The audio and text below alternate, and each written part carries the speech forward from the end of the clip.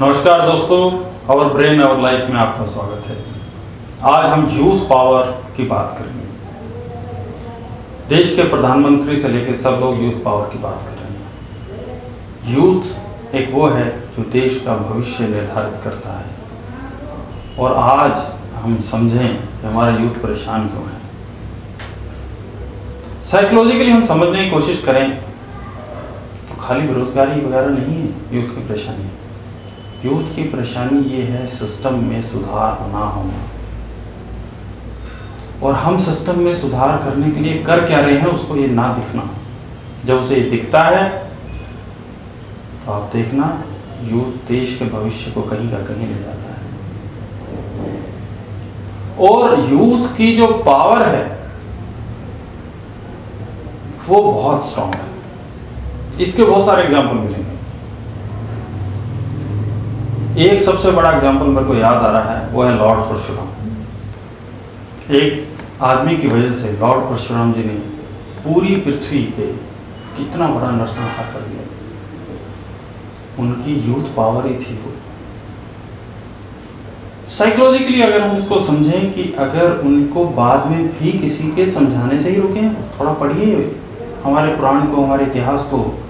तो इसका मतलब काउंसलिंग अगर पहले दी जाती तो बहुत अच्छे रिज़ल्ट आते हैं।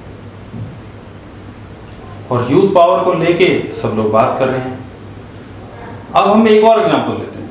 ये समझने के लिए कि इस पे हम कितना काम कर रहे हैं या कितनी गलतियाँ कर रहे हैं। अब हम अगर रामायण का एग्जांपल लें और उसको साइकोलॉजिकली कनेक्ट करना चाहें। आज आपसे कोई सवाल पूछता है कि लॉर्ड राम को वनवास क्यों हुआ? क्या कारण है? तो आप क्या बोलेंगे? मंथरा ने कर दिया कि कई ने कर दिया, वरदान मिले थे। बहुत सारे कारण हैं जो हमारे दिमाग में आएँगे। लेकिन क्या वो सही है? दशरथ जी को वरदान ही नहीं देना चाहिए था। करेक्ट पर इसको हम साइकोलॉजिकली यूथ पावर के साथ अटैच करके देखें तो आपको कुछ अलग समझ में आएगा।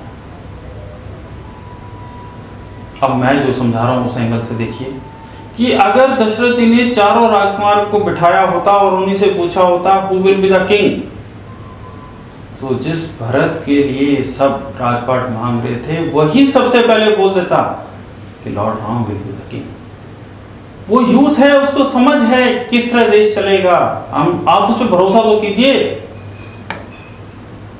लेकिन अगर आप भरोसा ही नहीं करेंगे, उसके विचारों को समझने की कोशिश ही नहीं करेंगे तो क्या होगा? फ्रस्ट्रेशन एंगर ये बढ़ता जाएगा। और जैसे ही फ्रस्ट्रेशन एंगर बढ़ेगा उसमें तो क्या होगा? ग्रोथ रुक जाएगी, अलग बीमारियाँ में चला जाएगा। डिप्रेशन के एंगल में चला जाएगा। तो हमें यूथ के लिए क्या सोचना चाहिए? ये सवाल आता है। कोई बात नहीं। मेरी तरफ़ से सुझाव ये है, उनके पास पावर है एनर्जी है, उनके पास नई सोच है, नई दिशा है, उनके पास एक ही चीज़ की कमी है, वो है एक्सपीरियंस तो हमें उनके साथ अपना एक्सपीरियंस साझा करना चाहिए। ताकि वो अपनी एनर्जी को सही दिशा पे लगा पाए। और उनके रिज़ल्ट जो आप सोच रहे हैं, उससे भी बेटर होंगे। ये मेरा पे विश्वास करके आप सिर्फ़ एक बार ये काम कीजिए, उनको सिर्फ़ अपना एक्सपीरियंस साझा कीजिए, उनको फ्री छोड़ दीजिए काम करने के लिए। तो देखना, देश, समाज सब लोग तरक्की करेंगे। आप लोगों का बहुत बहुत धन्यवाद इस वीडियो को देखने के लिए। आप हमें लाइक करें कमेंट करें और शेयर करें। और कोई भी सवाल हो, आप हमसे ज़रूर पूछें। हम पूरी कोशिश करेंगे आपको सेटिस्फाई आंसर देने के लिए। बहुत बहुत धन्यवाद।